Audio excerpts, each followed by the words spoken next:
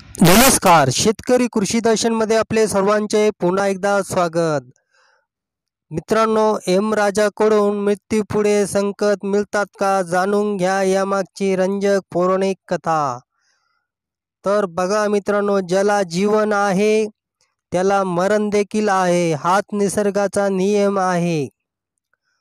जो सर्वांसाठी सारखाच आहे. आपले शरीर हे नश्वर आहे ज्याचा जन्म होतो त्याचा मृत्यू अंत देखील होतो. यातून कोणीही वाचू शकत नाही.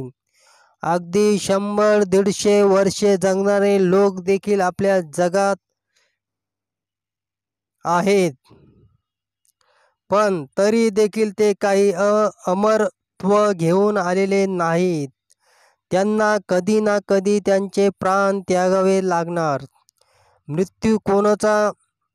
पण कोणाचा मृत्यू कधी होणार हे आपल्यापैकी कोणाला ठाऊक नाही.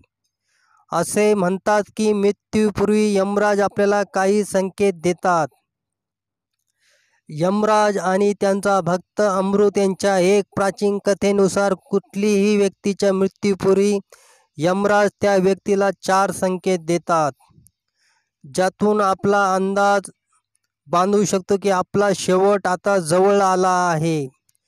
ज्यामुळे ती व्यक्ती जगाचा निरोप घेण्याआधी त्याची अपूर्ण कामे पूर्ण करू शकेल.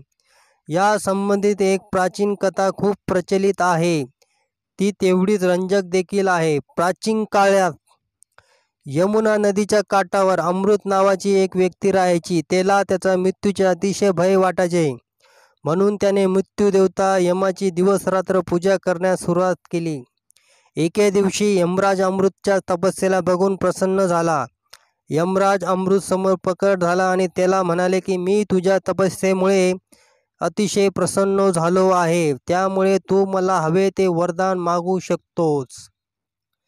तेव्हा मृत्यूचे देवता यम यांना आपल्यासमोर बघून अमृत आश्चर्यचकित झाला. त्याच्या तपस्येला प्रसन्न होऊन यमदेवाने त्याला वरदान मागण्यास सांगितले. तेव्हा अमृत उतरला की मला अमृतत्वाचे वरदान हवे आहे. त्याचे हे मागणे ऐकून यमराजाने त्याला समजावले की या जगात ज्याने कोणी जन्म घेतला आहे त्याचा मृत्यू हा अटळ आहे. कोणीही प्राणी आपल्या मृत्यूपासून वाचत शकत नाही. अमृताचे वरदान यमराजाकडून न मिळाल्यानंतर अमृतने यमराजाला विचारले की जर मृत्यू कोणीही टाळू शकत नाही जेव्हा माझा मृत्यू जवळ असेल तेव्हा मला त्याबाबत माहिती किंवा संकेत मिळेल का? जेणेकरून मी माझ्या कुटुंबातशी तशी सोय करू शकेन. त्याची ही मागणी ऐकून यमराजाने त्याला त्याच्या मृत्यूची पूर्वसूचना देण्याचे वरदान दिले. त्या बदल्यात यमराजाने त्याच्याकडून एक वचन घेतले की जेव्हा केव्हा त्याला त्याच्या मृत्यूची पूर्वसूचना मिळेल तेव्हा तो जगाचा निरोप घेण्याच्या तयारीत राहील. पण काही दिवसांनी अमृत यमाला दिलेले वचन विसरला. त्याने यमाची पूजा आराधना करणे देखील सोडले. तो पूर्णपणे विलासी जीवनात रमून गेला. आता तर त्याने त्याच्या मृत्यूची चिंता करणे देखील सोडले. त्याला वाटले जेव्हा त्याचे मरण जवळ येईल तेव्हा यमराज त्याला त्याची पूर्वसूचना देईलच. म्हणून तो कशाचीही पर्वा न करता ऐशो आरामात आपले जीवन जगू लागला. काही काळाने अमृतचे केस पांढरे व्हायला लागले. त्याची प्रकृती बिघडायला लागली. त्याचे सर्व दात पडले. त्याला डोळ्याने कमी दिसायला लागले. अमृत यम यमराजाचे संकेतची वाट बघत होता पण त्याला कुठलाही संकेत मिळाला नाही. त्याचप्रमाणे आणखी काही वर्षे उलटली. आता तरी अमृतचे आरोग्य एवढे खालवले होते की पलंगावरून उठू देखील शकत नव्हता. त्याचे शरीर पूर्णपणे निष्क्रिय झाले होते. पण तरीही यमराजने त्याला मृत्यूबाबत कुठलेही संकेत न पाठवल्याबद्दल धन्यवाद केला. त्याला वाटले की यमराजने अजून त्याला कुठलाही संदेश पाठवला नाही. म्हणजे त्याला सध्या मृत्यूचे काही भीती नाही. एका दिवशी अमृतच्या घरी यमराज प्रकट झाले. स्वतः त्यांनी बघून अमृत आश्चर्यचकित झाला.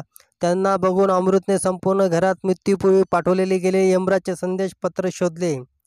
त्याला असले कुठलेही प्रकारचे पत्र सापडले नाही. तर त्याने यमराजावर कपट केल्याचा त्याला धोका दिल्याचा आरोप केला. अमृतच्या ह्या आरोपावर यमराजने अतिशय नम्रतेने उत्तर दिले आणि ते म्हणाले की मी तुला चार संकेत दिले. तुझे केस पांढरे होणे हा पहिला संकेत होता. तुझे दात पडणे हा दुसरा संकेत होता. तिसरा संकेत मी द्या तेव्हा पाठवला जेव्हा तुझ्या डोळ्याने तुला कमी दिसायला लागले.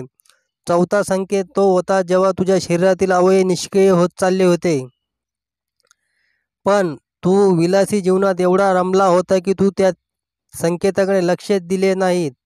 या कथेनुसार कुठल्याही व्यक्तीच्या मृत्यूपूर्वी यमराज त्याला चार संकेत पाठवतात. पहिले संकेत केस पांढरे होणे. दुसरं संकेत दात पडणे. तिसरे संकेत डोळ्याने कमी दिसू लागणे. चौथा संकेत शरीराचे अवयव निक्ष निष्क्रिय होणे.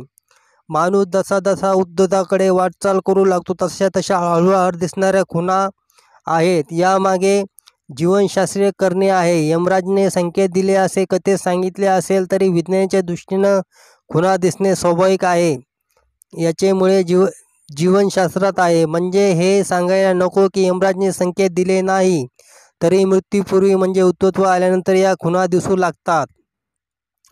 आपला मृत्यूजवळ आला आहे की हे सांगण्यासाठी यमराजने असावे तर त्यांनी संकेत द्यावेत याची गरज नाही.